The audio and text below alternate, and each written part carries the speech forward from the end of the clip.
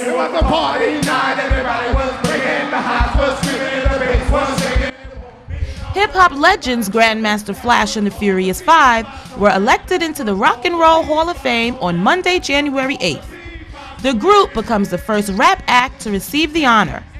The Ronettes, Van Halen, REM, and Patti Smith will also be inducted as part of the class of 2007 on March 12th at the annual ceremony at the Waldorf Astoria Hotel in New York City. Grandmaster Flash explained how his father inspired him to DJ. My father was this serious collector of vinyl records. And um, can remember almost like it was yesterday. There was a rule in my household never go in that closet and touch those records in there. Never go in there. Don't go in dad's records. Uh, my father used to work for uh, railroads, building the tracks and stuff.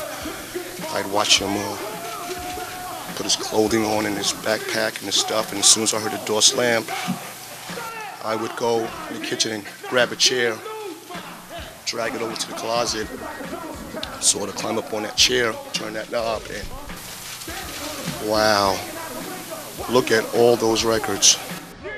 Grandmaster Flash and the Furious Five is comprised of Flash, Melle Mel, Raheem, Kid Creole, Scorpio, and The Late Cowboy. The group's early 80s hits include The Message, White Lines, Freedom, and Super Rappin' cause I'm close to the sun. it's like a jungle sometimes, man.